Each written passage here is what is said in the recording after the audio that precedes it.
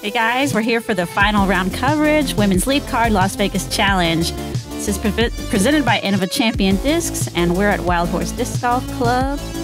I'm Lisa Fajkus. And I'm Madison Walker. We get another crack at the Innova course today. We're starting with Catrina Allen leading out with 100% scramble rate with 84% fairway hits. Sweet. Probably easy to get 100% scramble when you're hitting the fairway that much. No doubt. Uh, Jen also 100% scramble rate, 68% fairway hits, minus six for the tournament.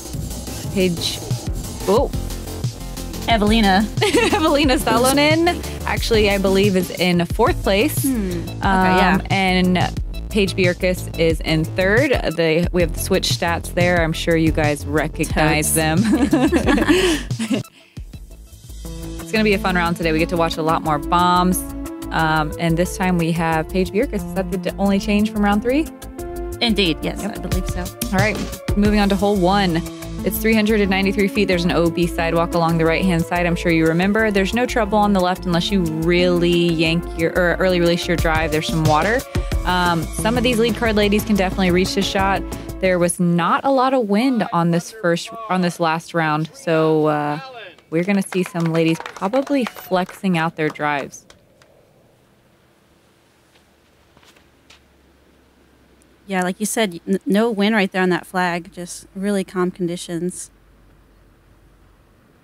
And yeah, that's what you want to do on this hole. Get it nice and far out. It's really hard to get it much closer Yeah, you really have to put it kind of for the ladies. Yeah, you kind of have to like put it almost at the OB and trust that it will come back to even get close. It's a it's a it's a rip. Jen's going for it. Yeah, like you said, she's going at the OB and trusting that late fade. Wow. And there it is. And she's deep. Past the bucket. Wow. That's great. She's safe. Love all the I uh, love it. semi-pro spotters. Jen would go deep of the pin. Yeah, no doubt. She's got 400 all day. She sure does. I think Eveliina does too. She takes that direct line. Taking yeah, taking a Get much more skip. linear approach. Mm-hmm. Gets to the base of that hill, she'll have a putt. Yep, nice little uphill putt. Also at one under par, Paige Bjerkaas. Oh, Jennifer, Paige, and Eveliina were tied for one under par going into this round. Okay.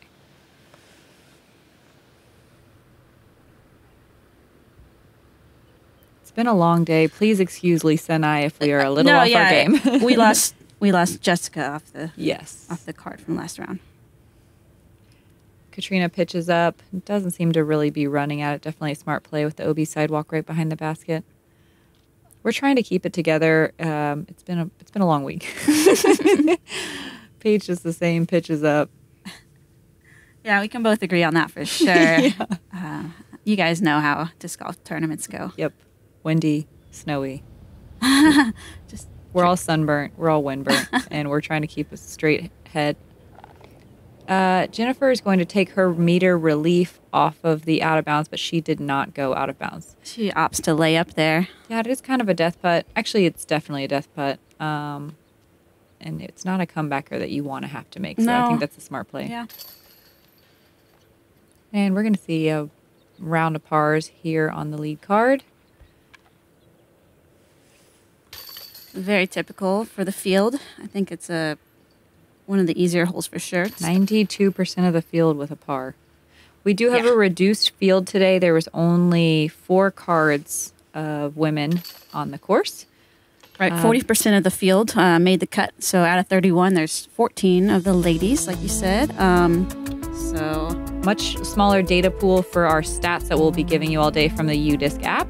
indeed, Moving on to hole two, 270 feet, the most technical hole in the course, I believe. Uh, the tightest fairway by a long shot. There's really fast greens, so you can kind of play the skip if you want. Low hanging branches, you have to keep it low and linear. And try not to hit any of the trees or galloping horses. There's an OB road on the right, OB fence on the left. They don't come into play unless you get a mean kick. Catrina gets tangled up in the last bush right before you get to the putting green, probably still right at circle's edge.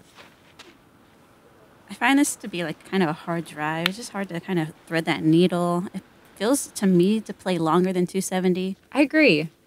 It's um, I've thrown a few good shots in practice, and they're still like 50 short. And I thought they were like right there. I've the only disc I could get there was a Thunderbird, and I would never throw a Thunderbird on a 270 foot hole. It would always be, you know, a putter or a rock. So Right. it definitely plays with that low ceiling. It Mhm. plays a lot longer. Paige turns Yeah, it over a little. It is tricky, Mhm. and it's a hyzer flip line, so you have to Mhm. flip up to flat and let it Mhm. carry straight. Yeah.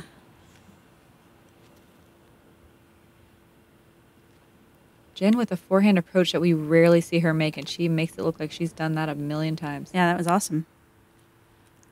Paige also from the side of the fairway doing a forehand approach.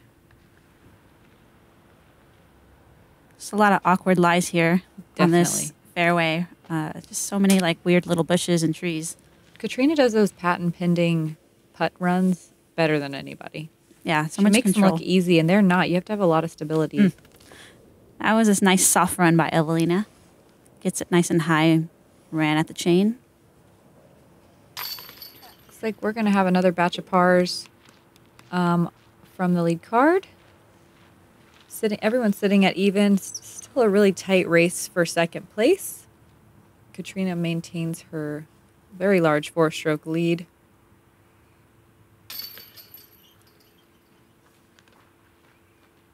And we move on to water holes. It's you feel safe here. There's it's blocked from any wind if there is any.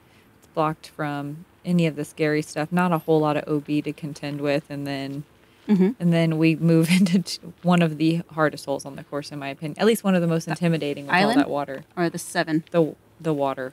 Yeah. Yeah. Six and seven. Yeah.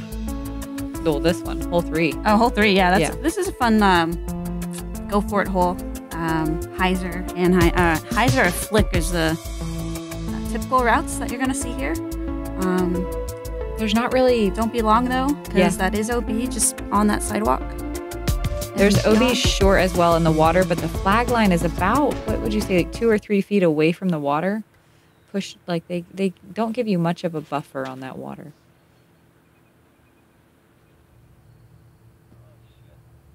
Catrina pressing that OB edge, but rolls Yeah, look at that roll back. back in. Count on it.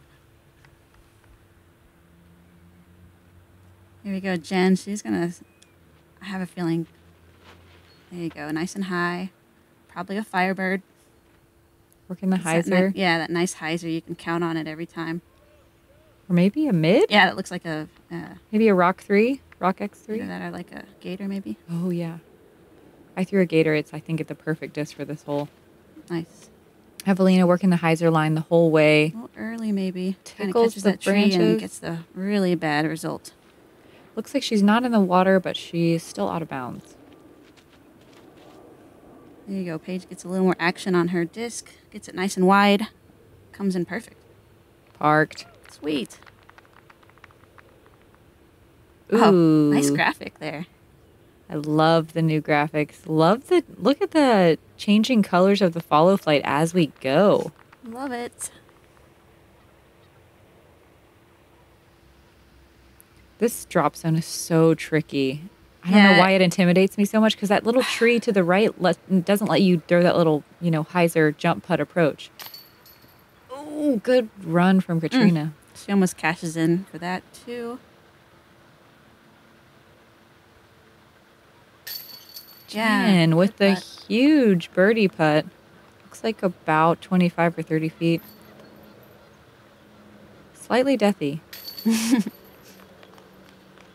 Gimme putt from Paige.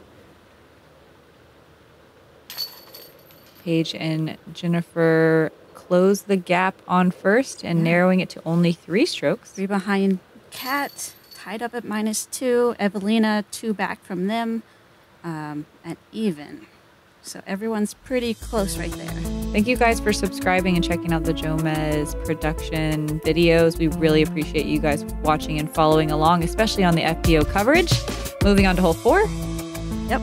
Uh, 357 feet, but it plays longer than that, in my opinion.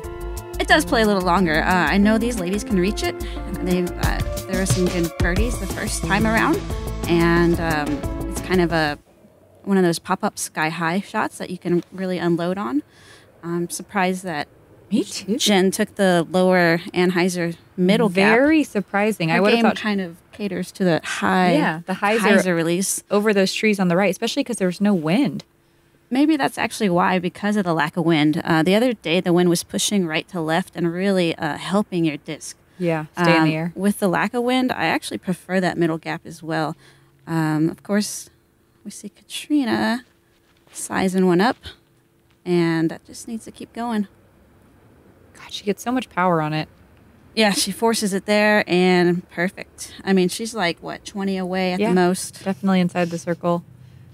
Eveliina looks to be lining up the inside route as well. Oh, wow.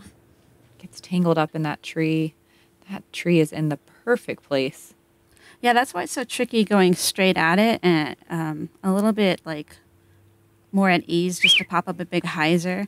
Um, but again, it's hard to get there. Um, I, I found it easier with the wind play the first time.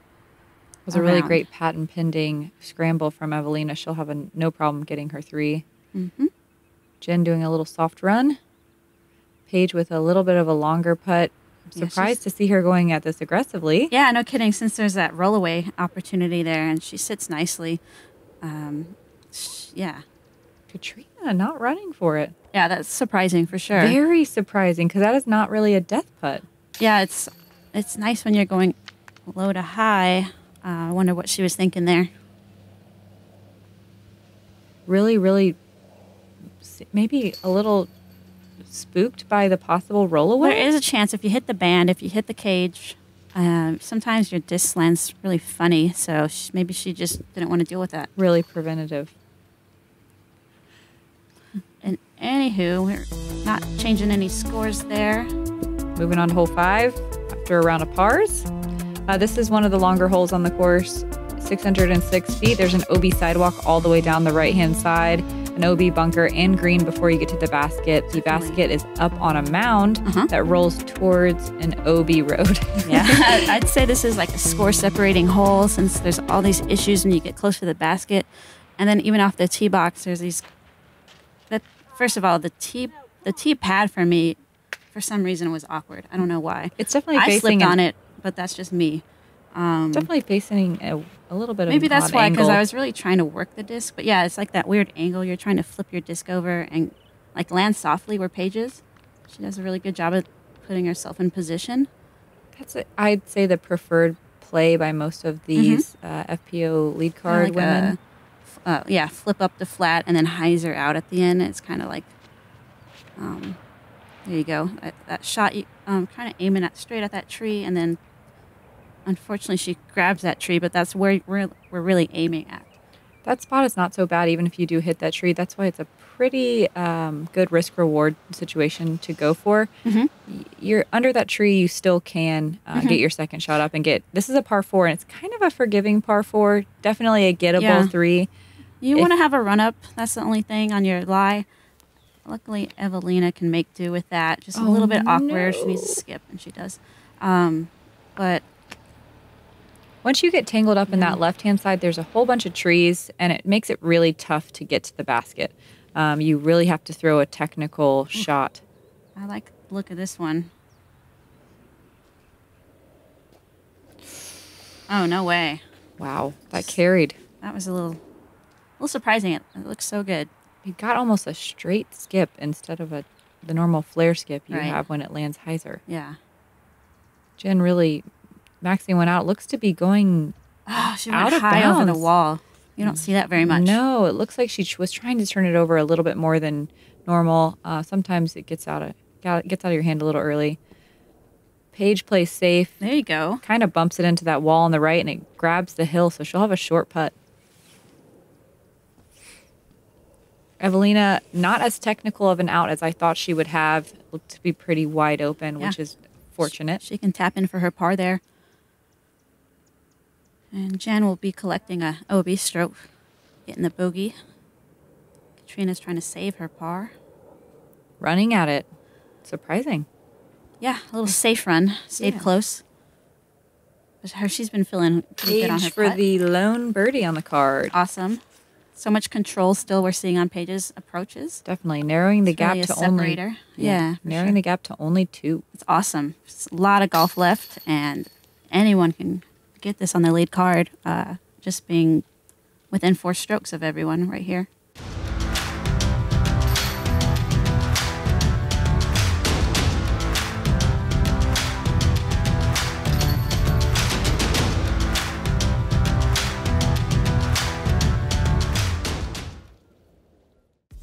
And with actually the separation from first and second only one stroke, now we move into a very nervy hole six, 222 feet, but the scariest 222 feet you will cover at, in most courses I've played.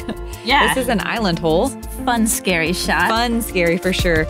Um, kind of you rely on the gravity to pull your disc towards the green instead of throwing it.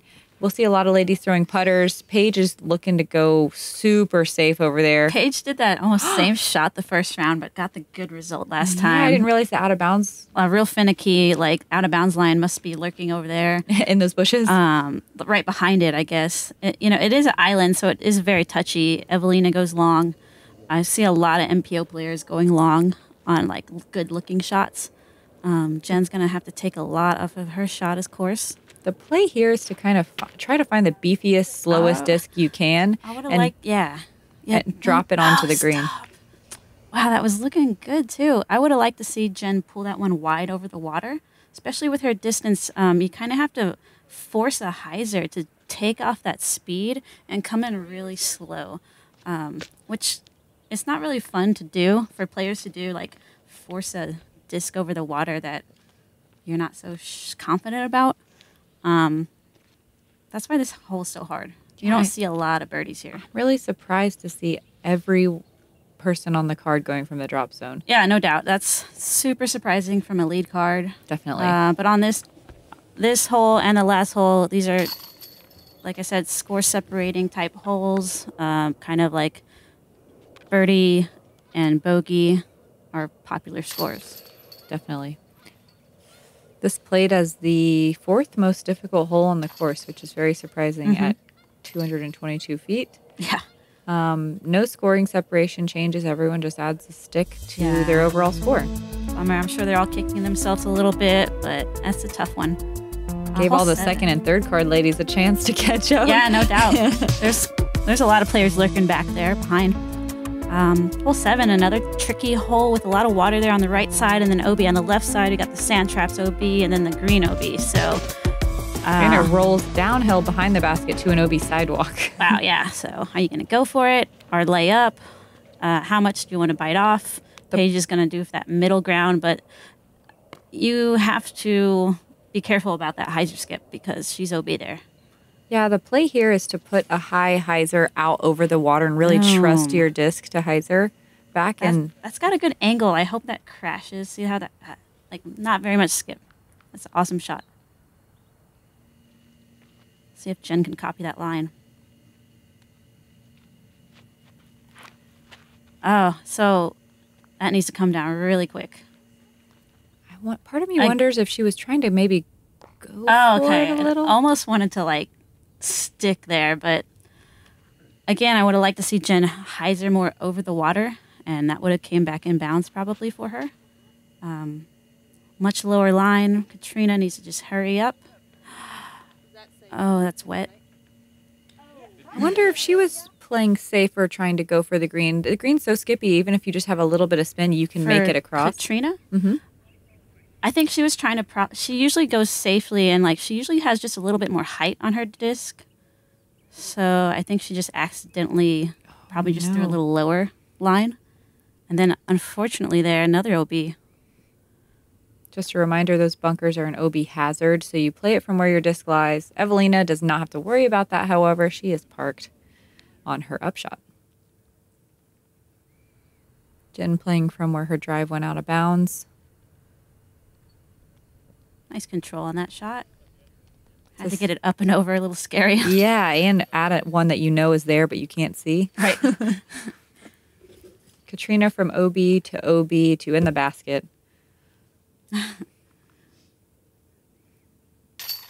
Eveliina with a flaming hot birdie on a really tough hole. No kidding. That's picking up a lot of strokes on the field. Definitely.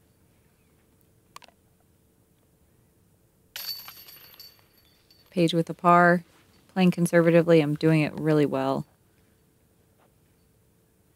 Jen with the par as well, even with the OB stroke. So we're going from the most difficult hole on the course. Oh no, Surprisingly, played as the easiest hole on What? the course. Yeah, I know How that's is that sh- that's a shocker.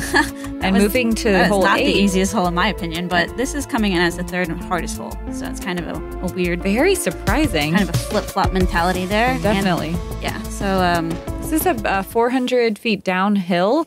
It's a place for the big Annie bomb, um, but it's really tough to get to because you're sometimes you just want to flip over into those willows on the right hand side. Um, that was one of the best drives I've ever seen on this hole. It's an excellent drive. She's still going to be about 40 long. I mean, short of the pin, with a little bit of a death putt towards the sidewalk. Such a touchy shot. I like how Paige keeps it low and relies on the stability of the disc, but she does still get tangled up in those trees. It's hard to commit to like hanging it out much wider than that, knowing that there's OB over there. Um, and it's a all these hard pan greens are super skippy. So if you land with any spin, you're going to flash skip. There you go. Jen might get all the way there with that. Very curious as to what that disc is. Holy moly. Wow, That's that's with no wind awesome. help. I love yeah. how high she gets it in the air. It just glides so far. I'm curious as to what that is. Probably a flippy destroyer, if I had to guess.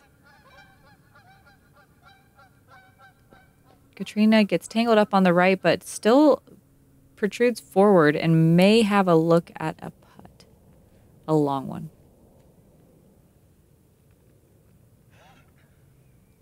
And this is such a straightforward shot. It's like hard because it's so straightforward. Yeah. But Paige does a really good job of not getting her putter like away, like spraying it too much. You know, it's like, Doesn't have too much spin. yeah, Yeah, the basket's on a mound um, with the sidewalk behind it, so you're so worried about skipping too far past, Mhm. getting a lot of action on the green. Mhm. to one little branch. Jen's trying to really buckle down and focus here for this big birdie.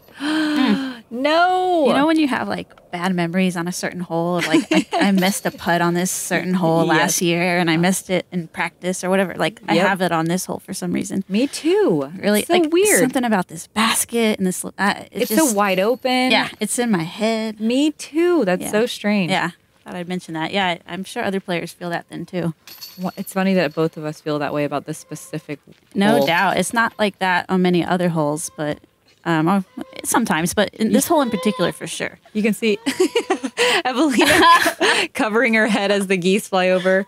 Oh there was a million Canada geese out there. I guess mating, maybe. I don't know. I think I mentioned that in another video, but they were in, in their mating pairs all over the course. Right, they're not too scared either. They're No. like just hanging out. It's like they're used to people chasing them around like the disc golfers were all weekend. Yeah. Uh, moving on to hole nine, 601 feet. You try to get out of the gap, hyzering, and just land somewhere out in the open field. And then it gives you another long drive approach with an OB bunker just behind the basket that is scary close. You're gonna see if you're gonna air, most will are, will err early, like Eveliina just did. Um, that palmetto can be really mean um, and grabby. Yeah, you're almost losing a stroke when you go in there because it's so hard to throw out. Hundred percent. Uh, however, this is playing as one of the easier holes today. I think this tee shot is so hard. You you just you can't overcommit because you can go in those trees straight and to the right, and there's so much to get tangled up in. You have to hit your gap dead straight. You That's can see gonna work. Jen does that. Oh, she gets tangled up didn't. on the right. Yeah, I did the same she thing. pulls it. Yeah, this is a a cool hole because it's technical.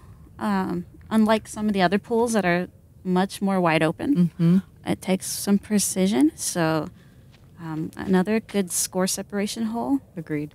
Kat does a really nice hyzer flip, one of her like patent shots there, Puts it way out there, way down the fairway. about 60 feet past Paige Bjerkaas's drive, giving her an advantage on her approach.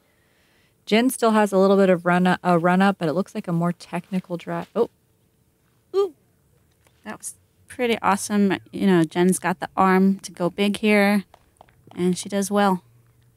Wonder how far now she's what like circle maybe circle two, circle three. circle three maybe. Yeah.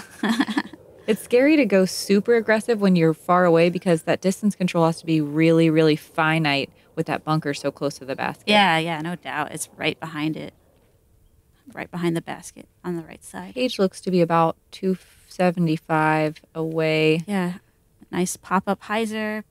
over those little sticky trees. It's exactly what you want. Put a lot of a lot of like angle on your disc, nice and wide. That's an excellent shot. She really trusts her disc to come back, w- even with the OB sidewalk over there. wide hyzer, but this one's not coming back as much. Oh, and it just keeps going too straight.